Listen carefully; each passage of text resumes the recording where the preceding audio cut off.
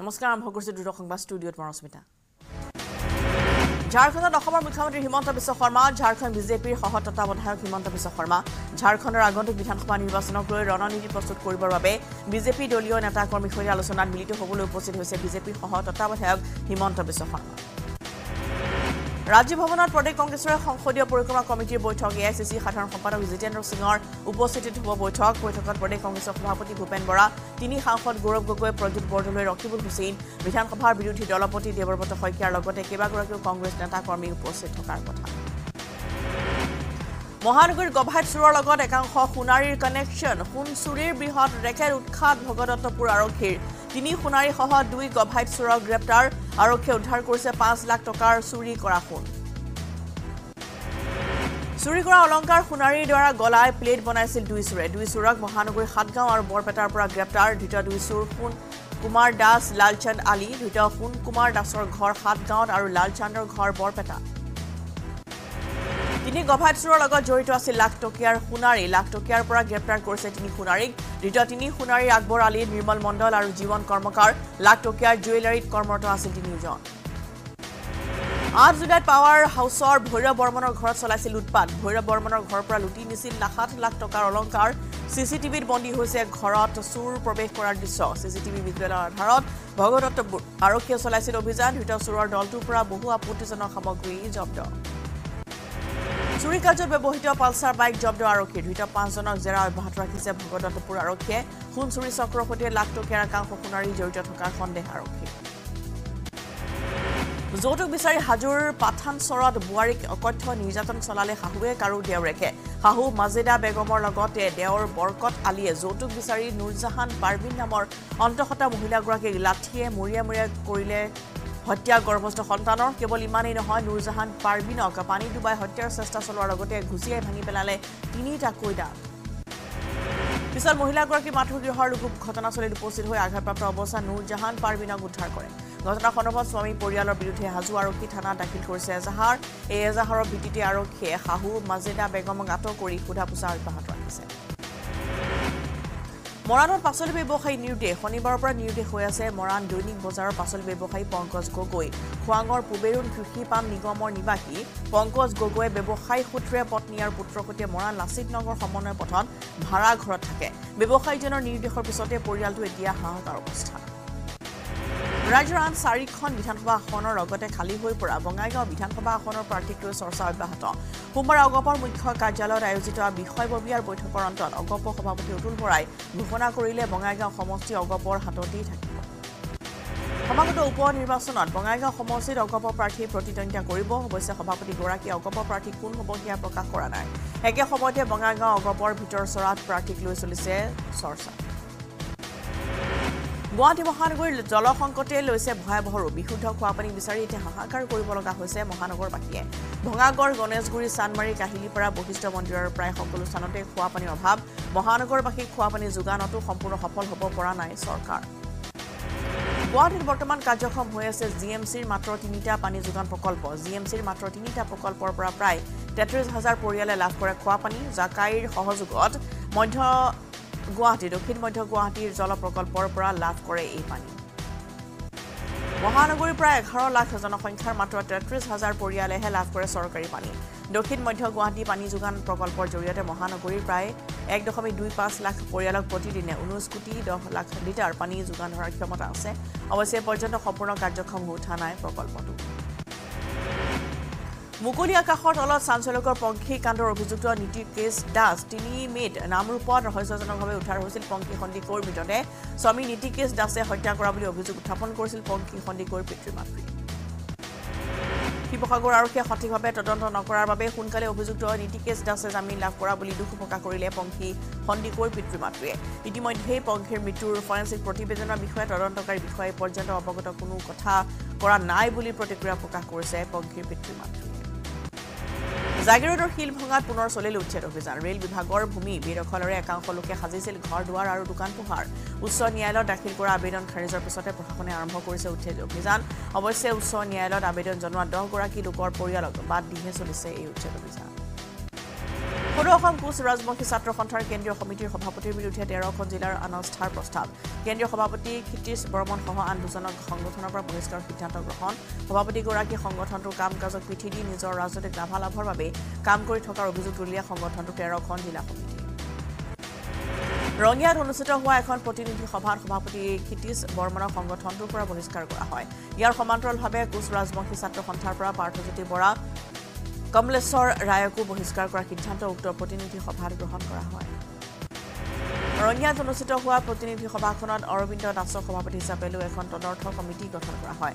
আগন্তুক সময়ছোৱাত যেতিয়ালৈকে নতুন কমিটি গঠন নহয় তেতিয়ালৈকে তদৰ্থ কমিটিয়ে সংগঠনটোৰ সকলো কাম চোৱা চিতা কৰিব বুলি সিদ্ধান্ত গ্ৰহণ কৰা হয়। আহোম মৰাণ মতসহ অসমৰ ছয় জনগোষ্ঠীয়ে লাভ কৰিব জনজাতিকৰণৰ মৰ্যাদা। শিৱসাগৰত সোমবাৰে নিশা তাচুক প্ৰতিষ্ঠা দিৱসৰ অনুষ্ঠানত উপস্থিত থাকি মন্তব্য কৰিছে কেন্দ্ৰীয় মন্ত্ৰী পবিত্ৰ মাৰ্ঘৰিটাই গহপুৰৰ বিভিন্ন প্ৰান্তৰ ভিতৰুৱা অঞ্চলসমূহত এতিয়া বাট পথৰ দুৰৱস্থাৰ যাতায়াতত ভুকাইছে ৰাইজক। বৰঝহা বাৰী কাৱৈমাৰী কৰ্জল গাঁও আদিৰ পথসমূহৰ জৰাজীৰ্ণ ৰূপ। এজাক বৰষুণ দিলেই পানীৰে উপচি পৰা পথসমূহ নিৰ্মাণ কৰাত বিভাগীয় কৰ্তৃপক্ষ তথা জনপ্ৰতিনিধিয়ে গুৰুত্ব প্ৰদান নকৰাৰ অভিযোগ। মাজুলীৰ আহতগুৰিৰ বিলতীয়াৰ ৰাইজৰ খহনীয়া ৰোধৰ চেষ্টা। বাঁহ গছ কাটি নদীৰ কাষত পেলাই নিজেই গৰাখহনীয়া ৰোধৰ চেষ্টা চলালে অঞ্চলটোৰ ৰাইজে। কিছুদিনৰে পূৰ্বে বিধায়ক ভুৱন গাঁও উপস্থিত হৈ খহনীয়া ৰোধৰ প্ৰতিশ্ৰুতি প্ৰদান কৰিছিল যদিও আজি পৰ্যন্ত কোনো ব্যৱস্থা গ্ৰহণ নকৰাত ৰাইজে গৰাখহনীয়া ৰোধৰ চেষ্টা চলায়। ৰাই নৈৰ প্ৰলয়ংকাৰী বানৰ কবলত ধেমাজিৰ ৰাজচক্ৰ বৰুৱা লালুং গাঁৱৰ প্ৰায় ডেৰ শতাধিক পৰিয়াল। বিগত ছয় সাত বছৰ ধৰি বাৰিষাৰ আগমনৰ লগে লগে পাহাৰত এজাক বৰষুণ দিলেই ৰাই নৈৰ বাঢ়নী পানীয়ে টচটচ কৰে গাঁওখনৰ সকলোৰে ঘৰ বাৰী সোমবাৰে নিশা অহা ধাৰাসাৰ বৰষুণতে কৃত্ৰিম বানত বুৰ গ'ল যোৰহাটৰ বহু অঞ্চল। বিশেষকৈ যোৰহাট নগৰৰ পৌৰ এলেকাত কৃত্ৰিম বানৰ ফলত জনসাধাৰণৰ মাজত হাহাকাৰ অৱস্থাৰ সৃষ্টি হয়। নগাঁৱৰ ৰাইডঙীয়া বৰি বজাৰত ভয়াৱহ অগ্নিকাণ্ডৰ ঘটনা বি জে ইলেক্ট্ৰনিক নামৰ দোকানত নিশা অগ্নিকাণ্ড সংঘটিত হয়। অগ্নিকাণ্ডত প্ৰায় পাঁচ লাখ টকাৰ সামগ্ৰী ভস্মীভূত। বৈদ্যুতিক শ্বৰ্ট চাৰ্কিটৰ ফলতেই জুই লগাৰ সন্দেহ কৰা হৈছে। তেজপুৰ চিভিল চাৰিআলিত এজন যুৱকৰ মৃতদেহ উদ্ধাৰ। মৃত যুৱকজন তেজপুৰ বুটলুঙৰ নাছিৰ উদ্দিন বুলি চিনাক্ত কৰা হৈছে। যুৱকজনে অত্যাধিক মদ্যপান কৰাৰ ফলতে মৃত্যু হোৱাৰ আশংকা। তেজপুৰৰ দোলাবাৰী চাৰিআলিৰ সমীপত ভয়ংকৰ পথ দুৰ্ঘটনা। এখন দ্ৰুতবেগী ডাম্পাৰে মহতিয়ালে মটৰ চাইকেল আৰোহীক দুৰ্ঘটনাস্থলীতে মটৰ চাইকেল আৰোহীৰ মৃত্যু হোৱা। মৃত লোকজনৰ পৰিচয় পৰ্যন্ত জানিব পৰা হোৱা নাই। কাজিৰঙাৰ সাতশ পোন্ধৰ নম্বৰ ৰাষ্ট্ৰীয় পথত অব্যাহত থাকিব যান বাহনৰ কনভয় ব্যৱস্থা। কাজিৰঙাৰ কহৰাত এক সংবাদমেল যোগে কথা সদৰি কৰে কাজিৰঙা ৰাষ্ট্ৰীয় উদ্যান কৰ্তৃপক্ষই। ৰাষ্ট্ৰীয় উদ্যানখনত বান্ধ হ্ৰাস পাইছে যদিও ৰাষ্ট্ৰীয় উদ্যান ঘাই পথটোত বন্যজন্তুৰ চলি আছে সঘন আহযাহ কাজিৰঙা ৰাষ্ট্ৰীয় উদ্যানৰ বন্য জন্তুৰ নিৰাপত্তাৰ স্বাৰ্থত প্ৰথম জুলাইৰ পৰাই এক জুলাইৰ পৰাই আৰম্ভ কৰা হৈছে যান বাহনৰ কনভয় ব্যৱস্থা। এই পথটোৰে অহা যোৱা কৰা সকলোৰে সহযোগিতাৰ বাবে ৰাষ্ট্ৰীয় উদ্যান কৰ্তৃপক্ষই ধন্যবাদ জ্ঞাপন কৰাৰ লগতে এই ব্যৱস্থা চলি থকা পৰ্যন্ত সকলোৰে ধৈৰ্য তথা সহযোগিতাৰ বাবে অনুৰোধ জনাইছে। কাজিৰঙা চলিত বানৰ সময়ত মৃত্যু হোৱা বন্যপ্ৰাণীৰ সংখ্যাই দুশ অতিক্ৰম কৰিছে। সেইদৰে বানত উদ্ধাৰ কৰা হৈছে এশ তিৰাল্লিছটা বন্যজন্তু। ৰাষ্ট্ৰীয় উদ্যানখনৰ দুশ তেত্ৰিছটা বন শিবিৰৰ ভিতৰত পঁচিছটা বন শিবিৰৰ যাতায়াত ব্যৱস্থা এতিয়াও নাৱেৰেহে হৈ আছে। জোনাইত ৰাইজে উদ্ধাৰ কৰিলে এটা বিৰল প্ৰজাতিৰ লাজুকী বান্দৰ। জোনাইৰ মালবুক মিচিং গাঁৱত সোমবাৰে নিশা ৰাইজে উদ্ধাৰ কৰে বিৰল প্ৰজাতিৰ এটা লাজুকী বান্দৰ।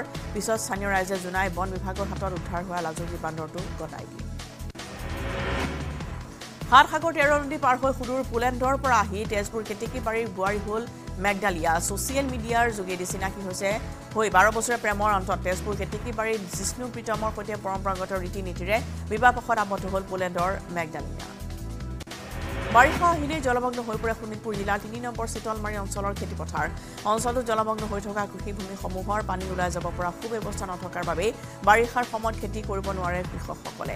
এই সন্দৰ্ভত কৃষকসকলে বিভাগীয় কৰ্তৃপক্ষ আৰু বিধায়ক অশোক সিংহালক অৱগত কৰাৰ পিছতো কোনো গুৰুত্ব প্ৰদান নকৰাৰ অভিযোগ। বিগত ষোল্ল দিনে বন্ধ হৈ আছে উত্তৰ গুৱাহাটী মধ্যম খণ্ড পাৰঘাটৰ ফেৰী সেৱা। ব্ৰহ্মপুত্ৰত জলপৃষ্ঠ হৈ থকাৰ বাবে জল পৰিবহণ বিভাগে বন্ধ ৰাখিছে ফেৰী সেৱাৰ চলাচল। ফেৰী সেৱা বন্ধ হৈ থকাৰ বাবে বহু সমস্যাৰ সন্মুখীন হৈছে যাত্ৰীসকল। মাত্ৰ দুহেজাৰ টকা মূলধন হিচাপে লৈ বেবেজিয়াৰ ক্ষুদ্ৰ ব্যৱসায়ী জিতুল চন্দ্ৰ দাসৰ সফলতা বেবেজিয়াত কে ডি শীৰ্ষক হোটেল প্ৰতিষ্ঠানেৰে ব্যৱসায় আৰম্ভ কৰা যুৱ ব্যৱসায়ীগৰাকীয়ে মুকলি কৰিছে ক্ৰিয়ান্স নামৰ আন এখন অত্যাধুনিক হোটেল। জিতুল চন্দ্ৰ দাসৰ এই ব্যৱসায়ৰ জৰিয়তে বৰ্তমান কেইবাটাও পৰিয়ালৰ জীৱিকাৰ পথ মুকলি বি বৰুৱা কলেজলৈ স্বায়ত্তশাসিত কলেজৰ স্বীকৃতি। দুহেজাৰ চৌবিছ পঁচিছ শিক্ষাবৰ্ষৰ পৰা দুহেজাৰ তেত্ৰিছ চৌত্ৰিছ চনলৈ দহ বছৰৰ বাবে ইউ জি চিৰ সাত দশমিক পাঁচ নং দফা অনুসৰি ঐতিহ্যমণ্ডিত মহাবিদ্যালয়খনলৈ স্বায়ত্তশাসিত কলেজৰ মৰ্যাদা অহা ত্ৰিছ দিনৰ ভিতৰত অপ্ৰয়োজনীয় অধিসূচনা জাৰি কৰিবলৈ আহ্বান জনোৱা হৈছে। মুম্বাই এক্সপ্ৰেছ হাইৱেৰ সমীপত ভয়ংকৰ পথ দুৰ্ঘটনা এখন দ্ৰুতবেগী যাত্ৰীবাহী বাছে ট্ৰেক্টৰত খুন্দা মৰাৰ ফলত চাৰিজন লোকৰ মৃত্যু হোৱাৰ লগতে আহত হৈছে কেইবাজন। আহতসকলক দুৰ্ঘটনাস্থলীৰ সমীপৰ এম জি এম হাস্পতালত ভৰ্তি কৰা হৈছে। দুৰ্ঘটনাগ্ৰস্ত বাছখন ডম্বিভলিৰ কেচাৰ গাঁৱৰ পৰা পান্ধাৰপুৰলৈ গৈ আছে। জম্মু কাশ্মীৰত পুনৰ সন্ত্ৰাসবাদীৰ ভয়ংকৰ আক্ৰমণ। সেনাৰ দললৈ লক্ষ্য কৰি সন্ত্ৰাসবাদীৰ নিৰ্বিচাৰ গুলীচালনা। জম্মু কাশ্মীৰৰ দুডা জিলাৰ ডেছা বনাঞ্চলত সংঘটিত হৈছে ঘটনা। সন্ত্ৰাসবাদীৰ আক্ৰমণত নিহত হৈছে এজন সেনা বিষয়াসহ তিনিজনকৈ সেনা জোৱান। সোমবাৰে নিশা প্ৰায় ন বজাত সেনাৰ এটা দললৈ লক্ষ্য কৰি ভয়ংকৰ আক্ৰমণ চলায় সন্ত্ৰাসবাদীৰ দলে। ভাৰতীয় সেনা আৰু জম্মু কাশ্মীৰ আৰক্ষীৰ এক যৌথ অভিযানৰ সময়ছোৱাতে আত্মগোপন কৰি থকা সন্ত্ৰাসবাদীৰ দলটোৱে অতৰ্কিতে আক্ৰমণ কৰাত কেইবাজনো সেনা জোৱান আহত হয়। পৰৱৰ্তী সময়ত আহত কেইবাজনো সেনা জোৱান আৰু বিষয়াৰ মৃত্যু হয়। আততায়ীৰ প্ৰাণঘাতী আক্ৰমণৰ পিছত পুনৰ জনতাৰ মাজলৈ আমেৰিকাৰ প্ৰাক্তন ৰাষ্ট্ৰপতি ডনাল্ড ট্ৰাম্প। সোমবাৰে নিশা ৰিপাব্লিকান পাৰ্টীৰ নেশ্যনেল কনভেনশ্যনত কাণত বেণ্ডেজ লৈ উপস্থিত হ'ল ডনাল্ড ট্ৰাম্প। দুদিন পূৰ্বে প্ৰাণঘাতী আক্ৰমণৰ পৰা কথাপি ৰক্ষা পৰিছিল ডনাল্ড ট্ৰাম্প। তামোলপুৰত পাঁচজন বনকৰ্মীক গ্ৰেপ্তাৰ। তামোলপুৰ আৰক্ষীয়ে গ্ৰেপ্তাৰ কৰে পাঁচজন বনকৰ্মীক বনাঞ্চলিক বিষয়া বীৰেন বড়োসহ চাৰিগৰাকী বনকৰ্মীক গ্ৰেপ্তাৰ। বন বিভাগে জব্দ কৰা কাঠ চোৰাংকৈ বিক্ৰী কৰাৰ অভিযোগ আটাইকেইজন বন বিষয়াৰ বিৰুদ্ধে। মহানগৰীৰ সুন্দৰবন নগৰৰ লাচিত বৰফুকন পথত হত্যাকাণ্ডৰ ঘটনা। ছৈয়দ আলী নামৰ এজন টাইলছ মিস্ত্ৰীক হত্যা দুই বন্ধুৱে হত্যা কৰা সন্দেহ স্থানীয় লোকৰ। ঘৰত পৰিয়াল নথকাৰ বাবে দেওবাৰে নিশা ছৈয়দৰ সৈতে দুই বন্ধুৱে পাৰ্টি কৰিবলৈ আহিছিল হত্যাকাণ্ডৰ নিশা পাৰ্টি কৰিবলৈ দুই বন্ধুৱে অহাৰ কথা লগত থকা ভতিজাকক বেলেগ ৰুমত নিশা থাকিবলৈ কৈছিল ছৈয়দে দেওবাৰে নিশা সংঘটিত হোৱা হত্যাকাণ্ডটোৰ পিছৰ পৰা পলাতক হৈ আছে ছৈয়দৰ দুই বন্ধু। এই সন্দৰ্ভত দুই বন্ধুক বিচাৰি হাতেগাঁও আৰক্ষীয়ে আৰম্ভ কৰিছে তদন্ত। লগতে ঘটনাৰ পিছৰে পৰা পলাতক হৈ আছে ভতিজাক আব্দুল ৰহিম। অৰুণাচল প্ৰদেশৰ চাংলাং জিলাৰ জয়ৰামপুৰত আলফা স্বাধীনৰ সদস্যৰ আত্মসমৰ্পণ। দেওবাৰে সন্ধিয়া আত্মসমৰ্পণ কৰে আলফা সদস্য ধনঞ্জয় সোণোৱাল ওৰফে বকুল অসম ওৰফে আলফা সদস্যগৰাকী। অৰুণাচল প্ৰদেশ আৰক্ষীৰ ওচৰত আত্মসমৰ্পণ কৰে আলফা সদস্যগৰাকীয়ে বৰ্তমান তিনিচুকীয়া আৰক্ষী জিমাত আলফা সদস্য কামপুৰ লুটুমাৰীত ভয়ংকৰ পথ দুৰ্ঘটনা। বাছ আৰু বাইকৰ সংঘৰ্ষত থিতাতে নিহত এগৰাকী মহিলা নিহত মহিলাগৰাকী ৰজানাৰ খাতুন। কথম্বী প্ৰাণৰক্ষা বাইক চালকজনৰ জৰাজীৰ্ণ পথৰ বাবেই এই দুৰ্ঘটনা সংঘটিত হোৱাৰ সন্দেহ। উন্নয়নৰ ৰেংকিঙত অসম বৰ্তমান গ্ৰীণ জ'নত প্ৰৱেশ কৰিবলৈ সক্ষম হৈছে বুলি জনায় মুখ্যমন্ত্ৰীয়ে। দুহেজাৰ ওঠৰ চনত ৰেড জ'নত আৰু দুহেজাৰ ঊনৈছত দুহেজাৰ বিছত উন্নয়নৰ ৰেংকিঙত অসম আছিল য়েলো জ'নত। অসমত দৰিদ্ৰতা হ্ৰাস পাইছে বুলি তথ্য প্ৰকাশ কৰিছে মুখ্যমন্ত্ৰী শৰ্মাই। অসমত ছয়ত্ৰিছ শতাংশৰ পৰা ঊনৈছ শতাংশলৈ দৰিদ্ৰতা হ্ৰাস হৈছে। অৰুণোদয় আঁচনিৰ বাবে এয়া সম্ভৱ হৈছে বুলি সংবাদমেলত দাবী মুখ্যমন্ত্ৰীয়ে। উন্নয়নৰ ৰেংকিঙত দৰিদ্ৰতা দূৰীকৰণ শিতানত অসমে লাভ কৰিছে অধিক পইণ্ট আনহাতে উচ্চ শিক্ষাৰ ক্ষেত্ৰত অসমে লাভ কৰিছে কম পইণ্ট উচ্চ শিক্ষাৰ ক্ষেত্ৰতো অসমৰ ভাল ফলাফল হ'ব বুলি প্ৰকাশ কৰিছে মুখ্যমন্ত্ৰীয়ে ওঠৰ লাখ কেণ্ডিডেট হয় তেওঁলোক ষ্টিল নহয়। অঁ ওচৰ চুবুৰীয়াসকলে লগাইছে। ষ্ট্ৰং মানে? মাইথেন ষ্টিল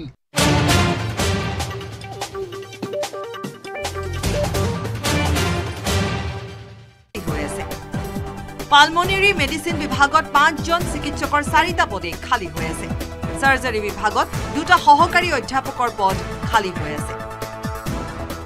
অস্থিৰোগ বিভাগত তিনিটা পঞ্জীয়কৰ পদ খালী হৈ আছে। এনাস্থেচিয়া বিভাগত তিনিটা সহকাৰী অধ্যাপক আৰু দুটা পঞ্জীয়কৰ পদ খালী হৈ আছে। ফৰেনচিক বিভাগত তিনিটা পঞ্জীয়কৰ পদ খালী হৈ আছে। মাইক্ৰ'বায়লজি বিভাগত দুটা ডেমনষ্ট্ৰেটৰ পদ খালী হৈ আছে। বায়'কেমেষ্ট্ৰি বিভাগত এটা সহকাৰী অধ্যাপক আৰু চাৰিটা পঞ্জীয়কৰ পদ খালী হৈ আছে। এনাটমি ফিজিঅলজি আৰু ফাৰ্মাকলজি বিভাগত ক্ৰমে তিনি আৰু দুজন ডেমনষ্ট্ৰেটৰৰ পদ খালী হৈ আছে। চকুৰোগ বিভাগত এটা অধ্যাপকৰ পদ খালী হৈ আছে। ইয়াৰ ব্যাপক প্ৰভাৱ চিকিৎসালয় মহাবিদ্যালয়খনৰ কাম কাজত পৰিছে। ইয়াৰ ফলত ৰাইজৰ মাজত প্ৰতিক্ৰিয়াৰো সৃষ্টি হৈছে। আজি নিউজ এইটিন আছামে এটা ভয়ংকৰ তথ্য ৰাইজৰ মাজলৈ পোহৰলৈ আনিছে যিহেতু যোৰহাট চিকিৎসা মহাবিদ্যালয়খনৰ পঁয়ষষ্ঠিজন চিকিৎসকৰ পদেই বৰ্তমান সময়ত খালী হৈ আছে। তাৰ সমান্তৰালকৈ এশ সাতজন নাৰ্ছৰ পদ খালী হৈ আছে। গতিকে এইটো এটা ভয়ংকৰ তথ্য বা ভয়ংকৰ খবৰ যিহেতু আজি যোৰহাটকে ধৰি যোৰহাট তিতাবৰ মৰিয়নিৰ উপৰিও মাজুলী গোলাঘাট শিৱসাগৰ কাজিৰঙাকে ধৰি বহুতখিনি অঞ্চলৰ পৰা ৰোগীসকল উন্নত চিকিৎসাৰ বাবে যোৰহাটলৈ আহে। যোৰহাট চিকিৎসা মহাবিদ্যালয় চিকিৎসালয়ৰ পৰা বিগত চাৰি বছৰত বহু কেইগৰাকী চিকিৎসকে চাকৰিৰ পৰা পদত্যাগ কৰিছে। জি এম চি এইচত দুহেজাৰ বিছ চনৰ পৰা ছগৰাকী সহকাৰী অধ্যাপক আৰু সাতগৰাকী পঞ্জীয়ক তথা ডেমনষ্ট্ৰেটৰে চাকৰিৰ পৰা পদত্যাগ কৰিছে। আনহাতে দুহেজাৰ বিছ চনৰ পৰা বৰ্তমানলৈকে জে এম চি এইচৰ দুগৰাকী অধ্যাপক আৰু এগৰাকী সহযোগী অধ্যাপকে স্বেচ্ছামূলক অৱসৰ গ্ৰহণ কৰিছে। ইয়াকে লৈ যোৰহাট চিকিৎসা মহাবিদ্যালয় চিকিৎসালয়ৰ পৰা বিগত চাৰি বছৰত ষোল্লগৰাকী চিকিৎসক আঁতৰি গৈছে।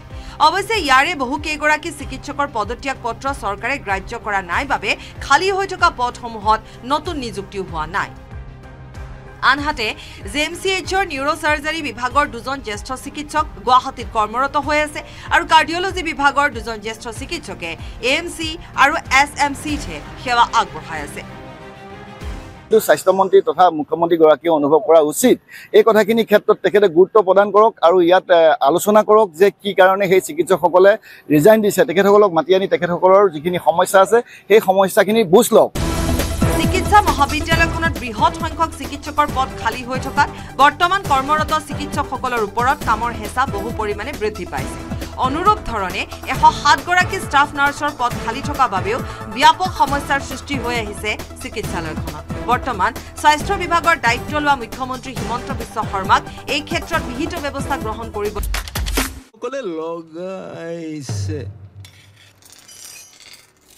ষ্ট্ৰং মানে মাইট এণ্ড ষ্টীল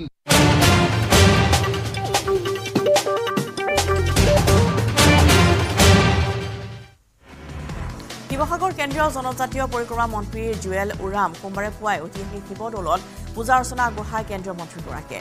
জিলাখনৰ জনজাতীয় লোকসকল অধ্যুষিত এলেকা ভ্ৰমণ কৰাৰ লগতে ডিমৌ সমষ্টিৰ বান পৰিস্থিতি বুজ লয় কেন্দ্ৰীয় মন্ত্ৰী জুৱেল ওৰামে শোণিতপুৰৰ কাঠফুলাৰ দৰে গঢ় লৈ উঠিছে একাংশ অবৈধ নাৰ্ছিং স্কুল। চৰকাৰী নিয়ম অমান্য কৰি দীৰ্ঘদিন ধৰি নাৰ্ছিং স্কুলৰ নামত চলাই আহিছে বেহা। চাৰিখনকৈ নাৰ্ছিং স্কুল অবৈধভাৱে চলাই অহাৰ অভিযোগ ৰাইজৰ। জিলা যুটীয়া স্বাস্থ্য সঞ্চালকৰ তদন্তৰ ভিত্তিত শোণিতপুৰত চিল কৰি দিয়া হৈছে চাৰিখনকৈ nursing school. Tezpur কেতেকীবাৰীস্থিত north eastern para medical institute Tezpur মুৰা তেতেলীস্থিত Glade institute of para medical science and nursing Tezpur পৰুৱাস্থিত Tezpur college of para medical science and Balipara চাৰিবালি চাৰিদুৱাৰস্থিত institute of public health and research নামৰ nursing school seal কৰি দিয়া হৈছে। মন্ত্ৰী কেশৱ মহন্তক ক্ষমা খুজিলে জখলাবন্ধাৰ ঢেকিয়াল গাঁৱৰ ৰাইজে। নিজে কৰা ভুলৰ বাবে নগাঁৱৰ নামঘৰত ক্ষমা খুজিলে মন্ত্ৰী কেশৱ মহন্তক। বানৰ কবলত পৰি আশ্ৰয় শিবিৰত থকা ঢেকিয়াল গাঁৱৰ একাংশ বৰ্ণাঢ্য তিনি জুলাইত ক্ষোভত জখলাবন্ধাত ঘাইপথ অৱৰোধ কৰাৰ লগতে মন্ত্ৰী কেশৱ মহন্তক অপদস্থ কৰিছিল কলিয়াবৰ হাতীমূৰা মথাউৰি ছিগা অংশ পৰিদৰ্শন কৰে বিধায়ক মনোৰঞ্জন তালুকদাৰে। হাতীমূৰাৰ ছুইচ গেট সংলগ্ন মথাউৰি ছিগাৰ বাবেই জলসম্পদৰ দোষী বিষয়া ঠিকাদাৰৰ বিৰুদ্ধে এফ আই আৰ দিয়াৰ দাবী বিধায়ক মনোৰঞ্জন তালুকদাৰৰ। হাতীমূৰা মথাউৰি পৰিদৰ্শনৰ সময়ছোৱাতে জলসম্পদ মন্ত্ৰী পীয়ুষ হাজৰিকাক বহুবলকী আখ্যা বিধায়ক মনোৰঞ্জন তালুকদাৰৰ। লগতে জলসম্পদ বিভাগটোক অকৰ্মণ্য বিভাগ বুলিও তীব্ৰ সমালোচনা কৰিলে বিধায়কগৰাকীয়ে। হাতীমূৰা মথাউৰি ছিগাৰ তদন্তৰ লগতে মুখ্যমন্ত্ৰীকো হস্তক্ষেপৰ দাবী জনায়। মৰিয়নী ৰাজহ চক্ৰৰ কাৰ্যালয়ৰ সন্মুখত শ শ চাহ শ্ৰমিকৰ উত্তাল প্ৰতিবাদ। চাহ শ্ৰমিকসকলৰ দৈনিক মজুৰি দুশ পঞ্চাছ টকালৈ বৃদ্ধি কৰা ৰেচন প্ৰদান উন্নত চিকিৎসা সেৱাকে ধৰি দীৰ্ঘদিনীয়া বিভিন্ন সমস্যা সমাধানৰ দাবীত চাহ মজদুৰ সংঘৰ উদ্যোগত শ্ৰমিকসকলে সাব্যস্ত কৰিলে প্ৰতিবাদ। গুৱাহাটী মহানগৰী জি এম ডি এৰ কাৰ্যালয়ৰ সন্মুখত মহানগৰ উন্নয়ন সমিতিৰ উদ্যোগত উত্তাল প্ৰতিবাদ। কৃত্ৰিম বানৰ সমস্যা সমাধানৰ লগতে উন্মুক্ত নলাসমূহৰ ঢাকনি দিয়াৰ দাবীত ৰাইজে সাব্যস্ত কৰিলে। চচলৰ ধৰ্ণাচলীত সদৌ অসম সুলভ মূল্যৰ ব্যৱসায়ী সন্থাৰ অৱস্থান ধৰ্মঘট। কেইবা শতাধিক সুলভ মূল্যৰ দোকানীয়ে সাব্যস্ত কৰিলে উত্তাল প্ৰতিবাদ। এঘাৰ দফীয়া দাবী সমাধানৰ বাবে তিনিদিনীয়া ধৰ্মঘট কাৰ্যসূচী ৰূপায়ণ কৰা সুলভ মূল্যৰ দোকানীসকলে। ডুমডুমাৰ মাজমজিয়াত মহামানৱ মহাত্মা গান্ধীৰ প্ৰতিমূৰ্তি নিৰ্মাণ কৰা হ'ব বুলি চৰকাৰী নিৰ্দেশনা প্ৰকাশৰ পিছতো ডুমডুমা সমষ্টিৰ প্ৰাক্তন বিধায়ক দুৰ্গা ভূমিজৰ উত্তাল প্ৰতিবাদ। প্ৰাক্তন বিধায়কগৰাকীৰ সৈতে প্ৰতিবাদ কৰিলে কংগ্ৰেছৰ কেইবাজনো নেতাকৰ্মীয়ে। ৰাজ্যত উন্নত হৈছে বান পৰিস্থিতি কিন্তু এতিয়াও কমা নাই বান পীড়িতৰ দুৰ্দশা। বৰ্তমানো জলামগ্ন হৈ আছে বহু অঞ্চল। নুমলীগড়ত শুকান ঠাইত অভাৱত পথৰ কাষতে মৃত মহিলাক কৰিবলগীয়া হয় অন্তিম সৎকাৰ। বানৰ বাবে এক নং গৰৈমাৰী গাঁৱৰ ৰাইজে ল'বলগীয়া হয় এই সিদ্ধান্ত। মাজুলীৰ জুগুনিধাৰীত আউনীআটী কমলাবাৰী সংযোগী মথাউৰিটোৰ মেৰামতিৰ কাম সম্পূৰ্ণ হৈ উঠিল। জলসম্পদ মন্ত্ৰী পীয়ুষ হাজৰিকাৰ নিৰ্দেশনাৰ পিছতে দহ দিনৰ ভিতৰতে ছিগা মথাউৰিটো মেৰামতি কৰিলে সংশ্লিষ্ট বিভাগটোৱে। ধুবুৰীৰ গৌৰীপুৰত শোকাবহ ঘটনা পানীত পৰি দুই শিশুৰ সলিল সমাধি। একেলগে তিনিটাকৈ শিশু পৰিছিল পানীত। এজনক জীৱন্তে উদ্ধাৰ কৰি ডি এম চি এইচত ভৰ্তি কৰা হৈছে। মৃত্যু হোৱা ছবছৰীয়া আবু ছাইদ আৰু আঠ বছৰীয়া চুলতানা পাৰবিন। গৌৰীপুৰৰ দাৰিংছৰ ঝালেৰ আলগা গাঁৱত এই ঘটনা।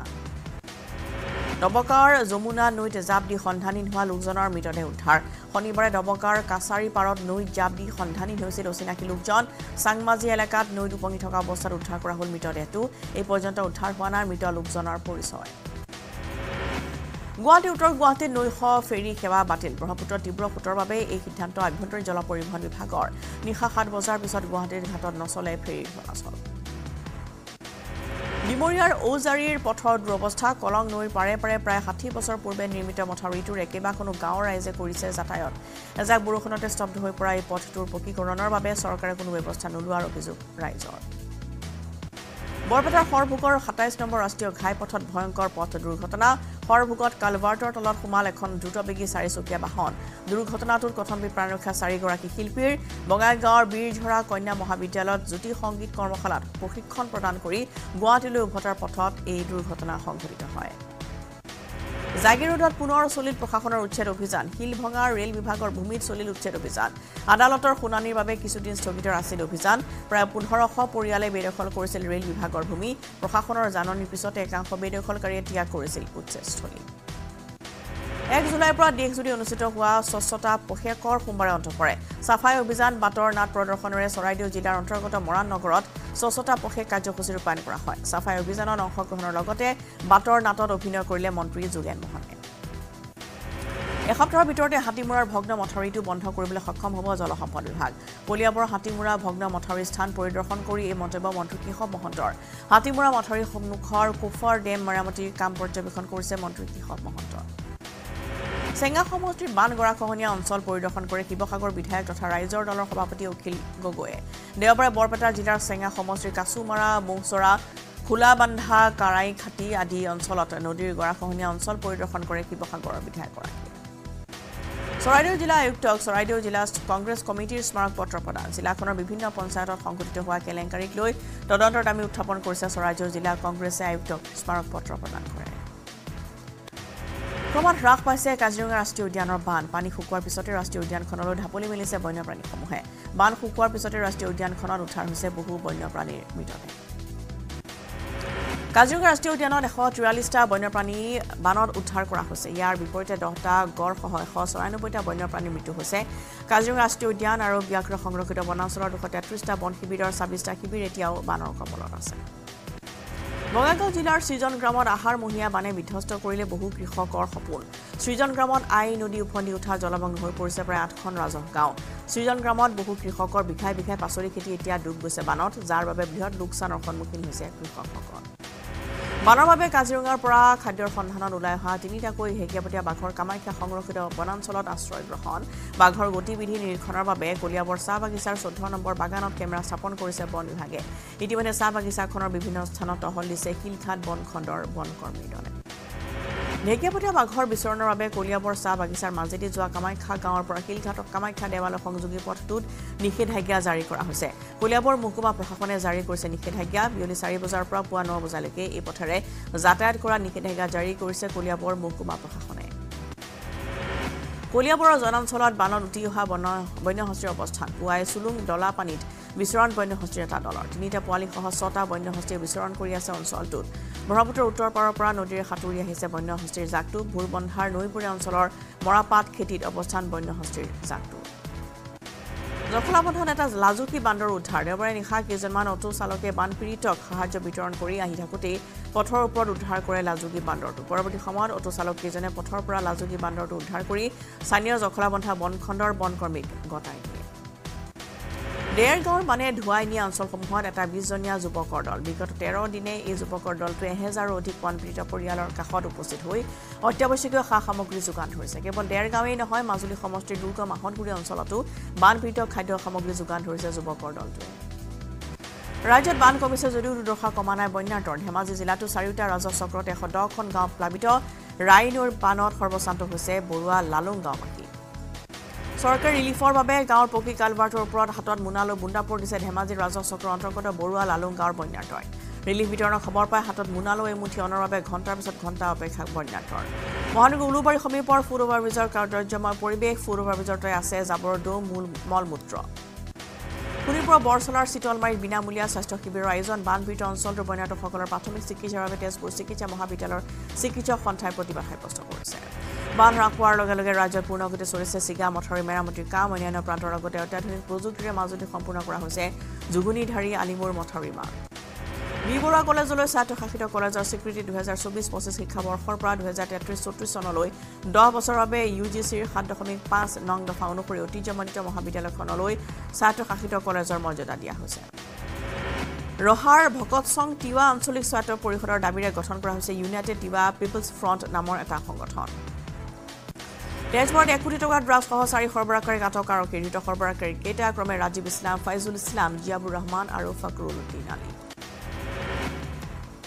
গহপুৰত দহ কেজি গাঞ্জা জব্দ অসম অৰুণাচল সীমান্তৰ ৰাজগড়ত জব্দ। গাঞ্জাখিনি ৰাজহ আৰক্ষীয়ে গাঞ্জাসহ জব্দ কৰিছে এখন বাইক কামৰূপৰ জিলাৰ কাউলী হাইস্কুল খেলপথাৰত বহু যুৱক যুৱতীয়ে দৈনিক তিনিৰ পৰা চাৰি ঘণ্টা শৰীৰ চৰ্চাৰ উপৰিও কৰিছে ক্ৰীড়াৰ অনুশীলন। বিগত প্ৰায় ছবছৰ ধৰি বিনামূলীয়াকৈ তৰুণ চৰকাৰ নামৰ এগৰাকী ক্ৰীড়া প্ৰশিক্ষকে দিছে প্ৰশিক্ষণ।